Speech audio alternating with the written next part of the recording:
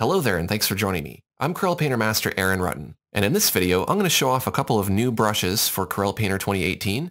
These are cloner brushes, and I'm going to use them to create a clone painting of myself. The two brushes that I'll be using are Wet Oily Cloner and Rough Knife Cloner. Those are found in the Cloners category. I'll just really quickly show you what each of these brushes can do.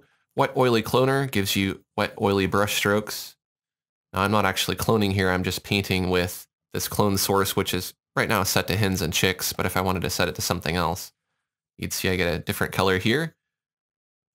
And I get that nice, oily, grainy stroke. You can see there's a little bit of paper grain in that, and I can actually change my paper grain up here at the top if I want it to be more of a canvas style grain, or I can have it be something larger and more broken if I increase the paper's scale and contrast in the paper's panel. I can get bigger, thicker grain. If you use really light pressure in a bigger brush, you're going to get a more grainy, oily stroke like this. If you press down firmly, you're really going to smudge the paint around. Let's take a look at the second brush, which is the Rough Knife Cloner. And this particular brush uses the dab stencil, which can be set to flow map, paper, or texture. Right now I have it set to flow map. I have my flow maps panel open. If you're looking for any of these panels, you can find them under the window menu, palette drawers, flow maps, and there's also the papers panel there. So Rough Knife Cloner, can do something kind of like this. It looks kind of like a rough palette knife.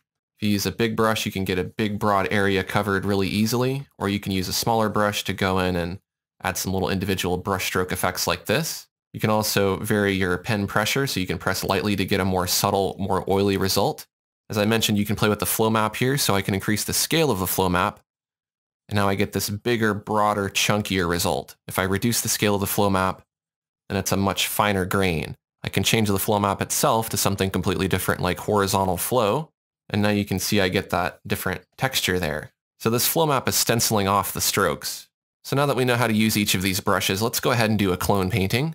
I've gone ahead and reverted my image to get rid of those brush strokes. And I'm going to go to File, Quick Clone, and now I have the photo of myself loaded in as a clone source. You can see that's accessible up here in the Enhanced Properties bar. Now I can control the opacity of that I can also hit T on my keyboard to show and hide my tracing image. So I'm going to start with the Rough Knife Cloner. I'm going to make a really big brush here. I'm going to switch my flow map back to clouds. I'll choose kind of a medium setting here. And I'm just going to go through and scrub in the background here really quickly with a big brush. And feel free to do it kind of sloppy because we want this to look rough and unfinished around the edges. I'll use a smaller brush near the shirt, and I'll make sure to pick up my pen periodically so that I'm smudging around different colors here rather than just the same color. We just want to just block this in. You can hit T periodically to see how it's coming along, but you can see already it gives us this nice painterly effect. This particular brush is utilizing the new liquid drip technology, and you can even use this on a new layer. So if I wanted to create multiple layers in my artwork, I could do that. I could create a new layer, and I can clone, and you can see now with the Sargent and liquid and drip brushes, you can now paint on a separate layer and these brushes will work. In earlier versions of Painter, you couldn't do that. So that's a really nice new feature that was added here.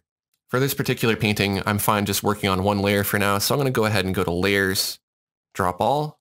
I'll go ahead and block in the face a little bit too. You'll notice that I'm sticking to areas that are similar. So for example, I'm painting just the hair, just the shirt, just the skin, and I'm trying to keep within those general shapes. That way I don't smudge my color around too much. And use a smaller brush if you need to to go in there and just clean up some of those fine edges. I want to try to cover up most of the white in this image. I don't mind leaving a little bit so that it looks kind of unfinished, but don't want it to look too sloppy. And use that same smaller brush just to go in and block in some of the eye areas so that we can tell where those are at. And then now that we have everything pretty well blocked in, I'm going to switch to the wet oily cloner. And I'm just going to use this to kind of clean this up in some areas blend and smooth it out. That way I have a nice mixture of these rough strokes that I did with the rough knife cloner and these nice soft deliberate strokes that look like oil paint with the wet oily cloner. I want to follow the contours of the face like so. I want this to be kind of impressionistic, so I'm not going to copy the reference photo exactly. I'm going to keep it kind of loose so it looks like a painting.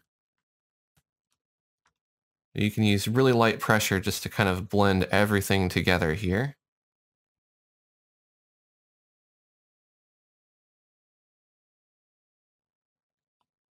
Now I'm going to zoom in a bit closer here so that I can use a smaller brush to get more of the details on the face. Alright, so now that I've blocked in the face, I'm going to go back to the rough knife cloner. And some of these background areas here, I'm just going to bring back in those big broad brush strokes. Can do that on the shirt as well.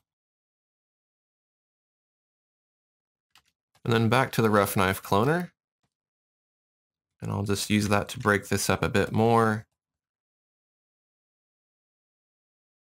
I think with just a few more strokes here, I have a finished clone painting. These new cloner brushes in Corel Painter 2018 are awesome. I recommend that you check them out. If you like this demonstration, take a quick second to click the like button. And don't forget to subscribe to this channel for more Corel Painter videos. Thanks for watching and I'll see you next time.